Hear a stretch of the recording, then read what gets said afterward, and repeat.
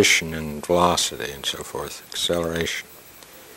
If I put, see what's to your right would be to my left. We call this plus. And I let it go and it swings.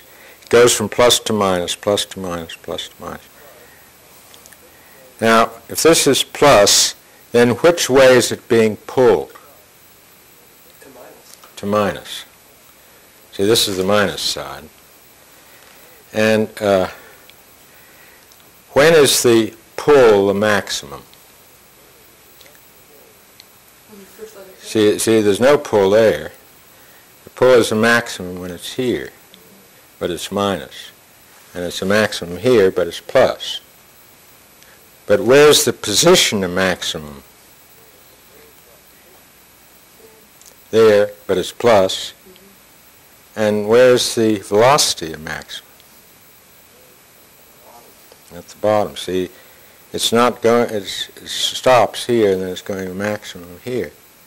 I can lay all that out on this diagram by, in terms of phase.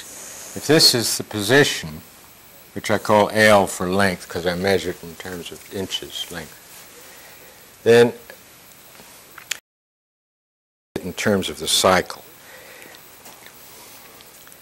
This is the beginning of the cycle. This is halfway through the cycle. This is quarter way through the cycle. And of course, on the way back, this is three quarters of the way.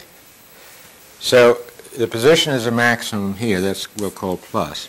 The velocity is a maximum here, which is halfway through, uh, or a quarter way through the cycle. Which I, if I, I could think of it going back and forth, or just going around, the point is it gets back to this point at the end of the cycle. So here's V plus, and here's L minus, and here's V minus. But recall that the acceleration was negative over here, so I'll put A minus. And the acceleration was plus here, so I'll put A plus. So I could leave out the minuses and just say position maximum here, acceleration maximum at this cycle, with a velocity maximum here. So I want another term for this negative velocity. Now you wouldn't get that until I do some little more playing with it.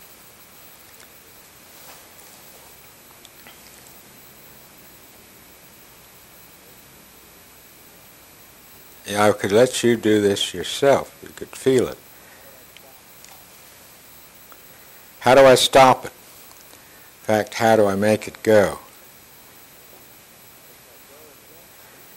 If, if I go against the swing, I make it go faster.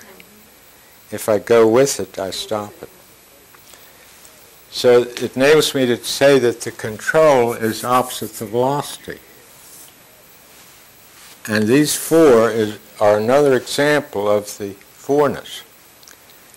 Uh, I've tried to do it just in visual terms, but the mathematical expressions would be the calculus. This is known, well, this is length, and velocity is the first derivative of length.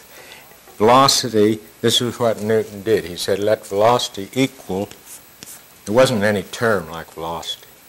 He said, but that thing we call motion, let it be length divided by time, which is what we, we say it goes 10 miles an hour or 50 miles an hour, 10 feet a second. So many, so much distance, L, per unit of time. Well, then if I said my Volkswagen can get to 60 miles an hour in 10 seconds, that would be acceleration. But notice that I say miles per hour per second. I've got time in twice. And to make that very simple, I say L over T squared. Each time I divide by time, I put in another T there. And this one is control. It's the rate of change of acceleration. See, acceleration was the rate of change of velocity. I can go to 60 miles an hour in 10 seconds. That would be different from going to 60 miles an hour in one second. Or if I hit a telegraph pole, I'd go to zero miles an hour in a very small fraction of a second. That would be unbearable. So the control, the change of acceleration, when I push the accelerator or put on the brakes or even steer it, they're control. Now Newton only went this far. And I don't know whether he explored that or not, but the, what was picked up was with acceleration, position, and velocity, you can work all this clockwork out and figure everything. And that's all there is to it. There isn't any free will.